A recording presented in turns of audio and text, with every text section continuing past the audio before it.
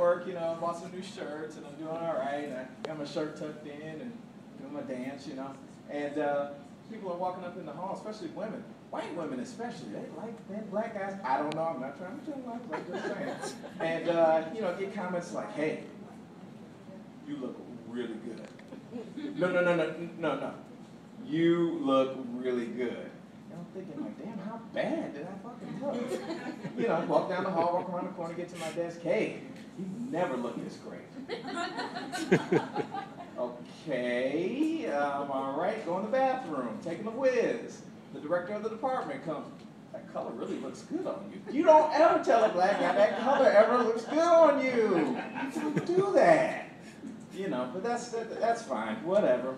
It's kind of cool being the only black guy at work though, because um, you know, you get certain privileges that that, that you know people would get. There is an advantage, you know. Like for example, um, for some reason, especially when you're you're the fat black guy for some reason, all leftover food comes your way. You know, you're like everybody's fun, lovable charity case slash garbage disposal. like Al Roker, you know. And um, it's pretty funny because, you know, I haven't paid for lunch in four years.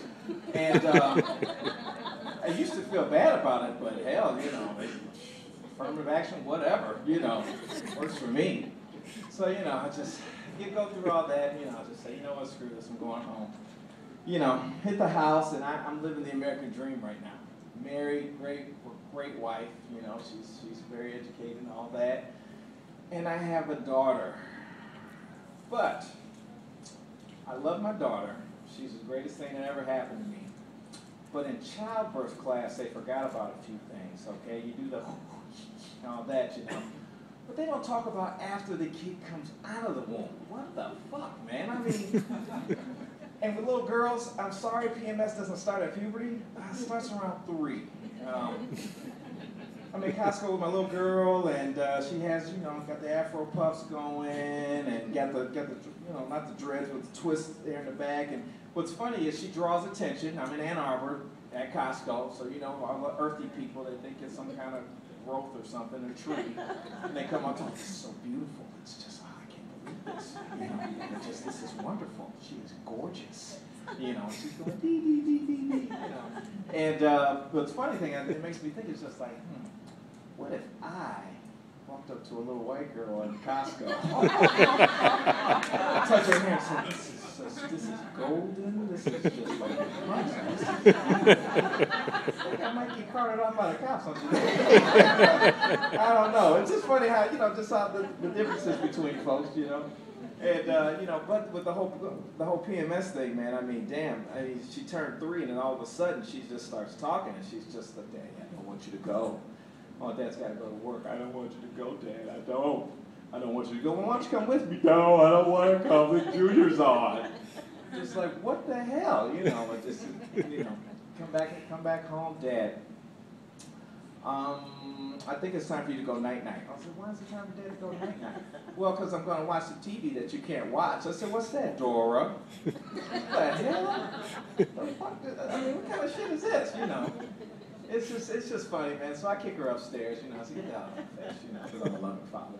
And um, turn on the TV. I got to wind down, you know, talking work shit with the wife and all of that. And you go, uh huh, uh uh huh, uh huh upstairs, going upstairs for cell phone rings. Yes.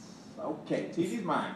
And uh, so I'm watching TV, and uh, I turned to fucking uh, Entertainment Tonight, and I'm just like, I see the Jacksons on it what the fuck? How you going to embarrass black people now? Okay. Mama Jackson sitting in the front. You got the whole gang behind her. Looks like she just looks like she's held hostage and shit. Looks like one of those terrorist videos. shit. You know what I'm saying? And today is consequently Michael's birthday, so you know I had to talk about the shit, right?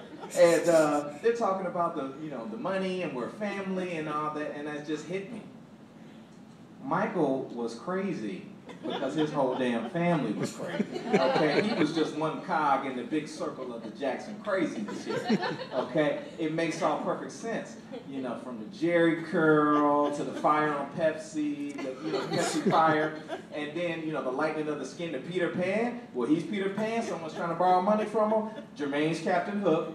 Latoya's uh, Tinkerbell, and the rest of them are the Lost Boys. They're the whole damn cast, and they knocking on his door. He's like in a tree. That's why I plant trees. Get away from my damn family. It's crazy, crazy, crazy. And I'm just like, I talked all this shit about Michael all these years. I'm sorry. You know, I mean, it's it's a trip, man. But uh, you know, but, but but moving to the burbs is is is it's been great, and uh, can't relate to the homies though. You know, I'm passing the blunt and they're talking about who got shot. I'm saying, well, you got to get a block club going. You know, we got to talk about this. You know, we got to get some neighborhood watch going with the police. What police, motherfucker? What the hell? You lost it, man. But you know, I say, yeah, that's why I'm getting my car heading up 94. Woo, sorry, homies. I'm back in my safe bed. Woo, trying to avoid those bullets. I love you. that's my time, y'all.